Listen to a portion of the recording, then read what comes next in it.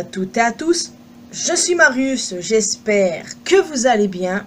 Oui, je sais, j'ai déjà parlé de cette théorie il y a deux mois à peu près. Ouais, je crois bien. Sauf que là, je vais la débunk. Je vous le redis, pour moi, la théorie du mimique, c'est du grand n'importe quoi à mes yeux. Et ce n'est pas parce que des éléments euh, des livres et des jeux se ressemblent au niveau du canon que ça veut obligatoirement dire que les livres en question le sont. Sont-ils réellement canon d'ailleurs? À mes yeux, ils ne le sont pas, mais ça ne veut pas dire pour autant qu'on ne peut rien en tirer ou que des éléments soient bien canons en jeu. Par exemple, Grégory et GGY, ça, pour moi, c'est 100% legit. Et ça concorde avec les jeux, selon moi. En tout cas, une petite euh, piqûre de rappel s'impose, les amis. Le mimique est un endosquelette qui est capable de copier euh, le comportement humain dans la dernière série de bouquins Tell from the Pizzaplex. Suite à plusieurs drames qui se sont enchaînés, il a appris la violence notamment par son créateur Edwin. Et bien plus tard, il s'est mis à traquer et à éliminer une bande d'adolescents qui se sont infiltrés dans le restaurant de Freddy Fazbear Pizzeria Simulator. Encore plus tard, son programme a été réutilisé pour devenir le compteur The Storyteller en VO. L'IA principale du Pizzaplex là où se déroule Security Breach, au-dessus du restaurant de Pizzeria Simulator. Il fait dysfonctionner les animatroniques et tue son créateur. Pour plus de précision, je vous invite à aller regarder ma première vidéo sur le mimique. Le lien est dans la description et en plus je la mets à la toute fin de la vidéo. Bon, selon la théorie, le mimique serait Burn Trap, et en aucun cas William Afton ne serait impliqué dans Security Breach. Le mimique aurait donc appris les moindres comportements d'Afton pour en devenir sa copie. Dieu que je déteste cette théorie. Le dernier livre, Tiger Rock, révèle que le mimique a tué une adolescente du nom de Kelly, cachée dans un animatronique, en entrant dedans tout en l'écrasant et potentiellement en fusionnant avec elle. De mieux en mieux. Sauf que euh, quand on réfléchit à tout ça, il y a des lacunes avec cette théorie. Voyons les points. L'idée que les jeux et les livres soient dans un seul et même univers ne se base sur euh, rien de concret en soi. Les événements qui y sont euh, mis en parallèle ne sont que bah, au final que des parallèles, voire euh, même des références ici et là, comme on en a dans la plupart euh, des euh, livres FNAF.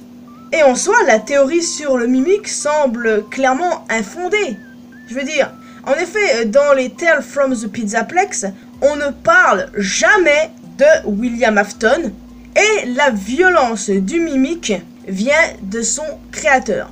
Et d'ailleurs, je tiens à rappeler qu'on lui a donné une mission précise, son job était d'empiler les têtes et les membres. Et il s'est mis à le faire avec les êtres humains. Ce qui ne ressemble pas du tout au comportement de Trap. Sans compter que le mimique était euh, tout le temps euh, dans des restaurants où William n'a jamais mis les pieds. Comment aurait-il pu apprendre le comportement du tueur? Et puis merde quoi, un clone de William, ça apporterait quoi au juste? Que dalle Et puis on peut se le dire, hein, la majorité de ceux qui croient à cette théorie du mimique là, ce sont ceux en général qui en ont marre du William Afton revient toujours. Où est le problème? William Afton est parfait en tant qu'antagoniste ultime de la franchise enfin. Puis quand bien même à une copie c'est nul quoi. Hum, enfin bon, reprenons.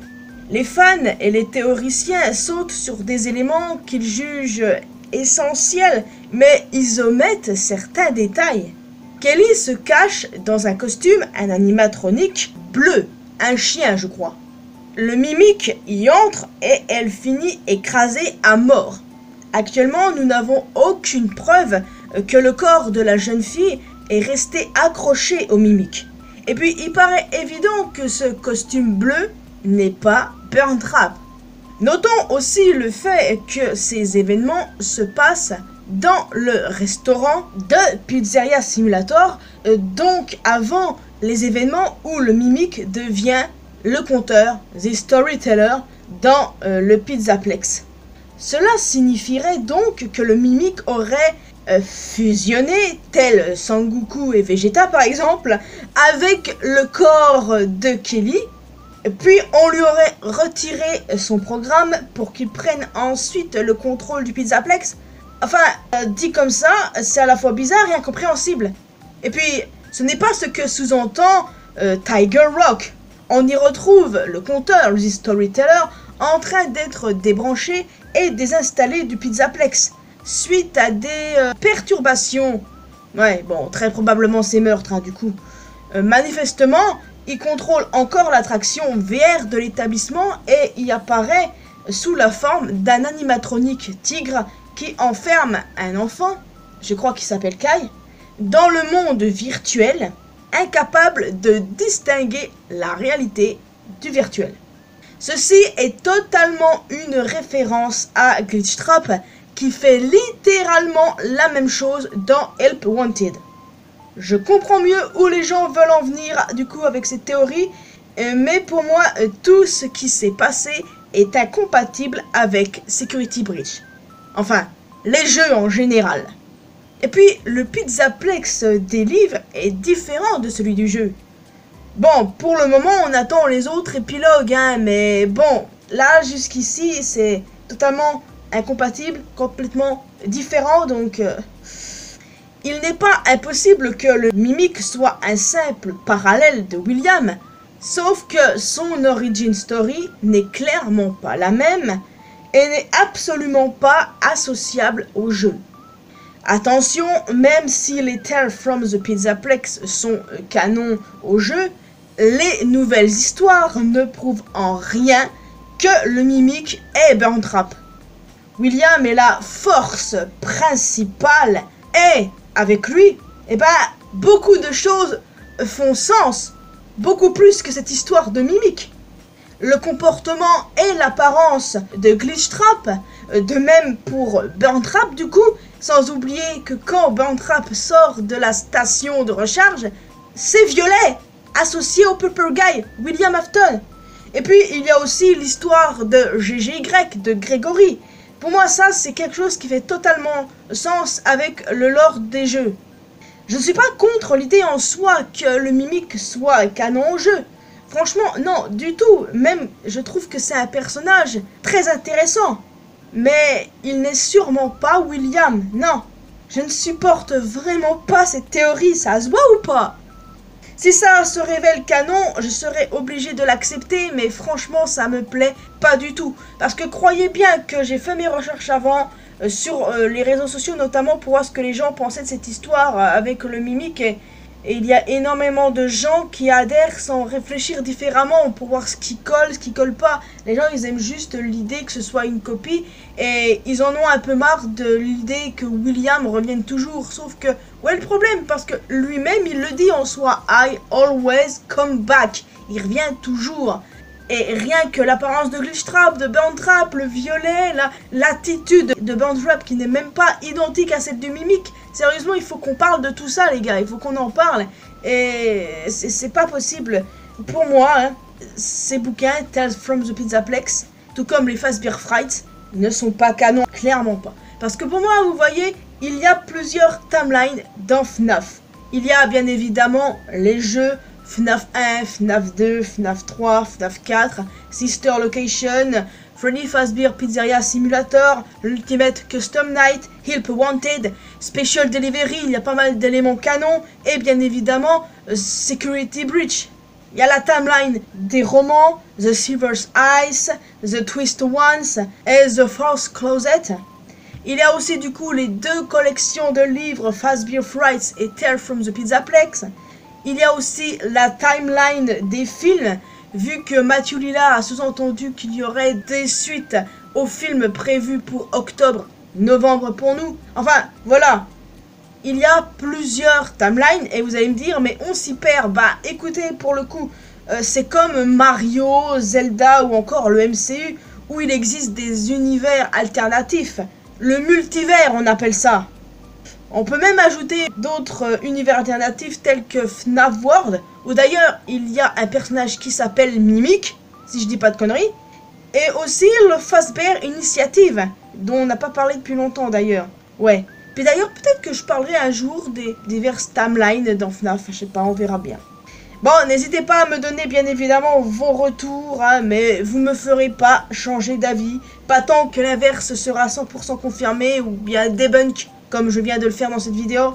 Donc donnez-moi votre avis, donc oui, vous êtes libre de croire à la théorie du mimique. Mais franchement, moi, je n'y arrive pas. Non, j'y arrive vraiment pas. Pour moi, ce n'est pas cohérent. Et, j'aime l'idée euh, que William Afton revienne toujours. Parce que c'est un de mes antagonistes préférés all time. Hein. Et sinon, bah, c'est pas logique. C'est vrai que quand je vous ai proposé ça en théorie, euh, il y a quelques mois, deux mois à peu près, enfin je sais plus trop quand je l'ai sorti, mais bref, toujours est-il que bah, à ce moment-là je n'y croyais pas, je voulais proposer parce que c'était au stade théorie. Après, on m'avait dit que les bouquins étaient très très potentiellement canons, donc j'ai fait des recherches, tout ça, je me suis ravisé. Après, il y a eu l'histoire de GGY qui m'a fait voir euh, les choses différemment, je me suis dit que potentiellement tous les bouquins étaient canons, en tout cas les Tales from the Pizzaplex.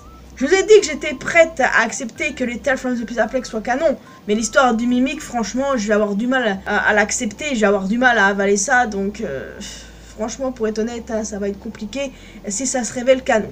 En tout cas, on verra bien si le DLC Ruine répondra à certaines de ces questions.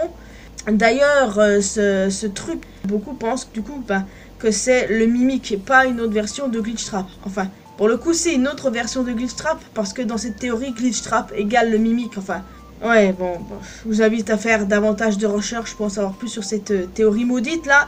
En tout cas, moi, je vous laisse ici. J'espère que vous avez tout de même apprécié cette vidéo euh, débunkage sur la théorie du mimique égale Trap. N'hésitez pas à me donner vos retours, peu importe si vous y croyez ou pas, mais euh, du moment que ça se fait dans le respect et dans le calme, ça me va. Vous pouvez aussi euh, laisser euh, un petit pouce bleu, ça fait toujours plaisir et c'est toujours encourageant. Vous pouvez me retrouver bien évidemment sur mes réseaux sociaux et comme d'habitude, les liens sont dans la description. Et le plus important, abonnez-vous à cette chaîne ainsi qu'à ma chaîne secondaire pour qu'on puisse se retrouver dans une prochaine vidéo. Bye bye